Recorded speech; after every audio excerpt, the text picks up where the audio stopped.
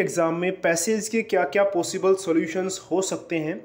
आइए बात करते हैं इसके बारे में। तो पहला क्वेश्चन था कि people are willing to pay higher prices for organic food because तो इसका आंसर तो आपको सीधे मिल जाता कि इसमें इंडस्ट्री एग्रीकल्चरल केमिकल्स जो है, ये सब नहीं होते, इसलिए जो है, लोग जो है हाई प्राइसेस देने को भी तैयार होते हैं ऑर्गेनिक फ़ूड के लिए।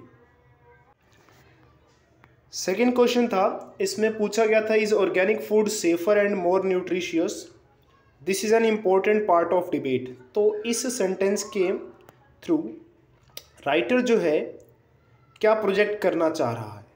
ये हमें बताना था। तो इससे अकॉर्डिंग टू मी मुझे लगता है कि कन्फर्मेशन जो है इसका करेक्ट आंसर आएगा। कन्फर्म करने की कोशिश की जा रही है कि ऑर्गेनिक फ़ूड ज़्यादा सेफ़र और न्यूट्रिशियस है as compared to non organic food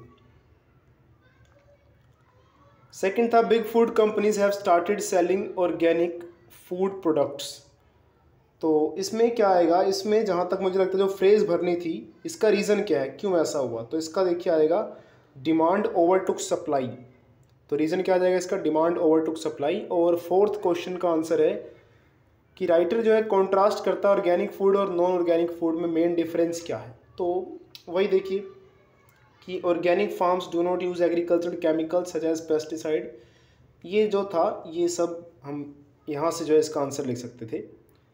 और फिफ्थ में पूछा हुआ था benefit of eating organic food organic food के बेनिफिट्स क्या हैं? तो इसका एक बेनिफिट देखिए यहाँ पे बताया गया है कि जिसमें लिखा था कि स्टडीज़ शो करती हैं कि अगर हम ऑर्गेनिक फ़ूड खाते हैं तो जो हार्ट डिसीज़ हैं, उसके चांसेस कम हो जाते हैं। उसके बाद कंटेमिनेशन ऑफ़ फ़ूड और वॉशिंग हैंड्स में राइटर क्या कनेक्शन बता रहा है? तो अगर हम वॉश हैंड नहीं करेंगे तो कंटेमिनेशन ऑफ़ फ़ूड भी क्या हो जाएगा? बढ़ जाएगा, ये कनेक्शन है। उतना ही फ़ूड हमारा कंटेमिनेटेड हो जाएगा। सेवन्थ में कहा गया है कि राइटर कहता है कि लोगों को लगता है कि ये सेफ़ और न्यूट्रिशियस है ऑर्गेनिक फ़ूड खाना। इसका रीज़न क्या देखिए? तो इसका रीज़न क्या प्राइस जो है पॉपुलैरिटी से बड़ा नहीं। There is no confirmed evidence तो यही जो है आंसर लग रहा है इसका कि there is no confirmed evidence इसलिए जो है राइटर कहता है कि लोगों को लगता है कि ये सेफ़र और न्यूट्रिशियस है as compared to non organic मतलब कोई प्रूफ तो नहीं है कि बिल्कुल हाँ सेफ़ ही है। कि ऑर्गेनिक फ़ूड खाएँगे तो कैंसर नहीं होगा नॉन ऑर्गेनिक खाएँगे तो कैंसर हो जाएगा। इसलिए इसका अभी कोई कन्फर्म्ड एविडेंस नहीं है पैराग्राफ में भी गिवन है।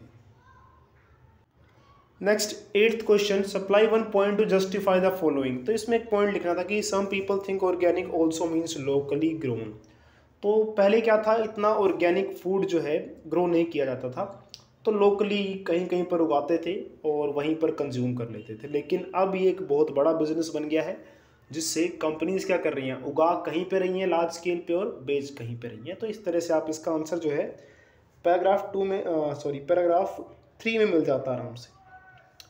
उसके बाद नाइन्थ में supply one method of how we can control the contamination of organic and non organic food तो किस तरह से जो है हम तो डॉक्टर्स ने रिकमेंड किया था वॉशिंग तो बिफोर ईटिंग हमें क्या करना है? इनको ऑर्गेनिक और नॉन ऑर्गेनिक फ़ूड को वॉश कर लेना अच्छे से, इससे कंटेमिनेशन से बच सकते हैं।